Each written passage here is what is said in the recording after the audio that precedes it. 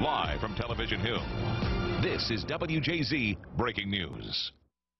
We start this noon with breaking news. Marlon Humphrey has tested positive for the coronavirus. The Ravens cornerback tweeted, quote, I got the Rona. Hopefully I'll be back healthy soon.